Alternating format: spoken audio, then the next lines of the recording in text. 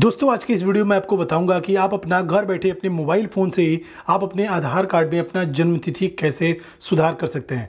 तो दोस्तों, वीडियो को शुरू से लेकर लास्ट तक देखिए और साथ में अगर हमारे चैनल पर पहली बार आए तो चैनल को सब्सक्राइब करके बेल आइकन को प्रेस कर दीजिएगा ताकि आने वाले वीडियो की सभी नोटिफिकेशन आप तक सबसे पहले पहुँचे। तो वही दोस्तों, वीडियो को शुरू करते हैं। दोस्तों, सबसे पहले आपको अपने किसी भी इंटरनेट ब्राउज़र को ओपन कर लेना है। दोस्तों, ओपन करने के बाद से यहाँ पे आपको गूगल में सर्च करना है U I D A I dot G O V dot in दोस्तों, इस वेबसाइट का लिंक हमारे वीडियो के डिस्क्रिप्शन बॉक्स में मिल जाएगा। आप चाहें तो वहाँ से भी डायरेक्ट ओपन कर सकते हैं। दोस्तों, यहाँ पे जो सबसे पहला वाला लिंक आया, आपको इस लिंक को ओपन करना है। ये आधार कार्ड का ऑफिशियल वेबसाइट है। अभी दोस्तों, आपको करना क्या है? यहाँ पर आपको स्क्रॉल डाउन करके नीचे आना है। और दोस्तों, यहाँ पे आपको अपडेट आधार वाले सेक्शन में एक लिंक मिलेगा, अपडेट डेमोग्राफिक डाटा ऑनलाइन। तो दोस्तों, आपको इस पर क्लिक कर देना है। दोस्तों, इस पर क्लिक करने के बाद से यहाँ पे आपको, यहाँ पे दिया हुआ है प्रोसेड टू अपडेट आधार। इस पर आपको क्लिक कर देना है।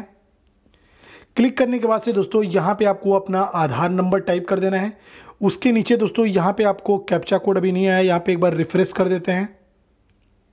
यहाँ पे कैप्चा कोड अभी आ गया है। और दोस्तों, इस कैप्चा कोड के यहाँ पे ऊपर वाले बॉक्स में आपको, यहाँ पे आपको टाइप कर देना है। तो दोस्तों, यहाँ पे आपको आधार नंबर और उसके नीचे कैप्चा कोड फिलअप करके और आपको सेंड ओटीपी पे क्लिक कर देना है। सेंड ओटीपी पे क्लिक करते ही दोस्तों, यहाँ पे one time password has been successfully send मतलब कि दोस्तों, हमारे रजिस्टर्ड मोबाइल पे जो आधार कार्ड में लिंक है, उस पर एक ओटीपी सेंड कर दिया गया है। उस ओटीपी को दोस्तों, यहाँ पे नीचे, यहाँ पे आपको इंटर ओ वाले बॉक्स में आपको फिलअप कर देना है और फिलअप करने के बाद से दोस्तों, आपको लॉगिंग पे क्लिक कर देना है। दोस्तों लॉगिंग पे क्लिक करते ही यहाँ पे आपको दो ऑप्शन मिलेंगे। तो दोस्तों, यहाँ पे आपको अपडेट डेमोग्राफिक्स डाटा पे आपको क्लिक कर देना है।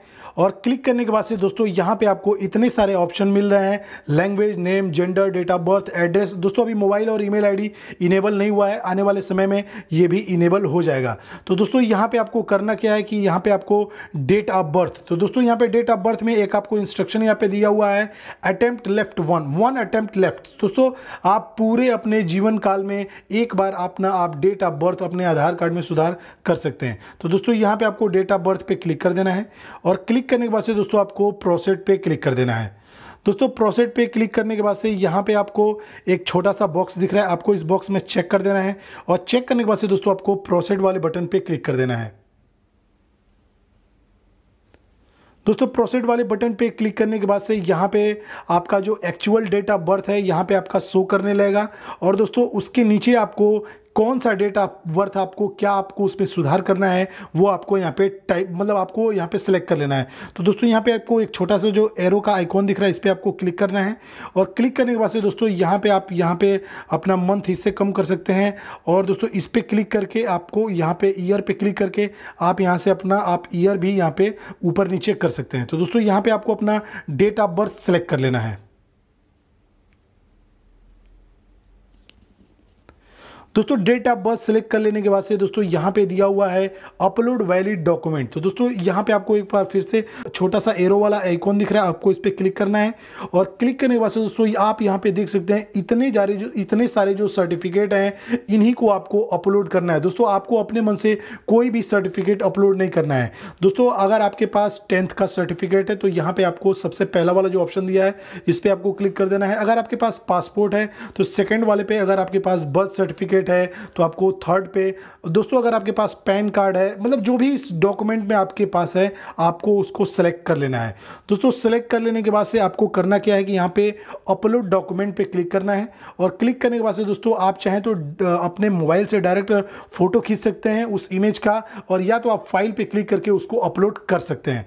दोस्तों, यहाँ पे आपको मैक्सिमम जो साइज़ है, वो दो एम होना चाहिए। दो एम से ज़्यादा का साइज़ नहीं होना चाहिए। और दोस्तों, जो फ़ाइल है, वो जेपीजी और पीएनजी में ही होना चाहिए। तो यहाँ पे दोस्तों मैं अपने फ़ोन से ही यहाँ पे मैं ले लेता हूँ, क्योंकि मैंने अपने फ़ोन में पहले से ही उस फ़ोटो को खींच के रखा है। अभी दोस्तों देख सकते हैं, मैंने अपना यहाँ पे फ़ोटो जो इमेज मैंने अपने गैलरी से लिया है, वो यहाँ पे नीचे शो करने लगा है। दोस्तों ये तभी शो करेगा जब आपका जो साइज़ है वो दो एम होगा और आपका जो फ़ाइल है वो जेपीजी और पीएनजी में होगा। अभी दोस्तों आपको करना क्या है, यहाँ पे आपको प्रिव्यू पे क्लिक कर देना है। दोस्तों प्रीव्यू पे क्लिक करते ही यहाँ पे एक बार आपको कंफर्म करने के लिए आ जाएगा कि एक बार आप देख लीजिए आपका जो आपने जो किया है वो सही है कि नहीं है। अगर दोस्तों, अगर गलत है तो यहाँ पे आपको एडिट पे क्लिक करके आपको उसको चेंज कर देना है। अभी दोस्तों, यहाँ पे आपको करना क्या है? यहाँ पे आपको कैप्चा कोड यहाँ पे नहीं आ रहा है तो यहाँ पे रिफ्रेश वाले बटन पे क्लिक कर दीजिए। यहाँ पे कैप्चा कोड आ जाएगा। अभी दोस्तों, इस कैप्चा कोड को यहाँ पे ऊपर फिलअप कर देना है और फिलअप करने के बाद से दोस्तों, आपको सेंड ओ पे एक बार फिर से क्लिक कर देना है। दोस्तों सेंड ओटीपी पे क्लिक करते ही वन टाइम पासवर्ड एक बार फिर से आपके रजिस्टर्ड मोबाइल नंबर पे सेंड कर दिया गया। उस पासवर्ड को दोस्तों, यहाँ पे आपको इंटर ओ में यहाँ पे टाइप कर देना है और टाइप करने के बाद से दोस्तों, यहाँ पे जो छोटा वाला बॉक्स दिख रहा है, इसमें आपको चेक कर देना है और चेक करने के बाद से दोस्तों, आपको मेक पेमेंट पे क्लिक कर देना है। दोस्तों यू आई आपका करेक्शन करने के लिए मात्र पचास रुपये लेता है। दोस्तों, यही चीज़ आप अगर बाहर कराते हैं तो काफ़ी इस समय लूटा पार्टी चल रहा है। कहीं कोई दो सौ रुपये भी लेता है, कहीं कोई तीन सौ भी लेता है। और दोस्तों, इसका जो एक्चुअल चार्ज है, जो UIDAI का, वो है मात्र पचास रुपये। तो दोस्तों, आपको सिर्फ़ और सिर्फ़ ऑनलाइन पचास रुपये का पेमेंट करना है। तो दोस्तों, यहाँ पर आपको मेक पेमेंट पर पे क्लिक कर देना है। दोस्तों मेक पेमेंट पे क्लिक करते ही यहाँ पे आपको कुछ सेकंड तक वेट करना है। अभी दोस्तों, यहाँ पे आप देख सकते हैं, आपको पचास रुपये का जो पेमेंट है, वो आप चाहें तो डेबिट कार्ड से दे सकते हैं, या तो आप चाहें तो नेट बैंकिंग से दे सकते हैं। तो दोस्तों, अगर आपको डेबिट कार्ड से पेमेंट करना है तो यहाँ पे आपको डेबिट कार्ड पर क्लिक कर देना है। और क्लिक करने के बाद से दोस्तों, यहाँ पे कार्ड नंबर में आपको कार्ड नंबर भर देना है। एक्सपायरी में आपके डेबिट कार्ड के आगे एक्सपायरी लिखा होगा। मंथ और ईयर आपको उसको यहाँ पे मंथ और ईयर टाइप कर देना है। उसके बाद से दोस्तों, आपके डेबिट कार्ड के पीछे जो ब्लैक वाला चिप होता है, उसके नीचे एक तीन अक्षर का सीवीवी कोड होगा। आपको इसमें फिलअप कर देना है। और दोस्तों, आपके कार्ड पे आपका क्या नाम लिखा है, आपको आपको इसमें फिलअप कर देना है। दोस्तों, अगर आपके कार्ड पे आपका नाम नहीं लिखा है तो जो भी आपके बैंक खाते में आपका नाम है, उसको आपको यहाँ पर टाइप कर देना है। और टाइप करने के बाद से दोस्तों, आपको प्रोसेट पे क्लिक कर देना है। दोस्तों, प्रोसेट पर क्लिक करते ही आपके बैंक वाले अकाउंट में जो भी मोबाइल नंबर लिंक है, उस पर आपको एक ओटीपी जाएगा। उस ओटीपी को सिर्फ़ फिलअप करके सबमिट कर देंगे तो आपका ये जो एप्लीकेशन है फाइनली सबमिट हो जाएगा और आपको एक एस नंबर मिल जाएगा। उससे आप लाइव उसको आप ट्रैक भी कर सकते हैं कि आपका क्या वो अपडेट का स्टेटस है। तो दोस्तों, ऐसे आप भी अपना घर बैठे अपना सुधार कर सकते हैं।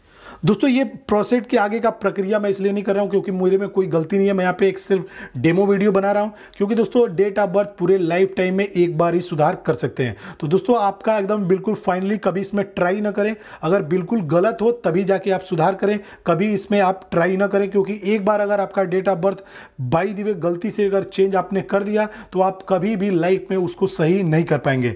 तो दोस्तों ऐसे आप भी अपना घर बैठे सुधार कर सकते हैं।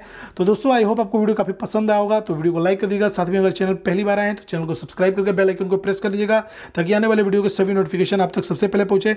और दोस्तों, आपके मन में कोई भी सवाल हो तो हमारे कमेंट बॉक्स में ज़रूर लिखिएगा। मिलते एक नए वीडियो के साथ। जय हिंद, वंदे मातरम।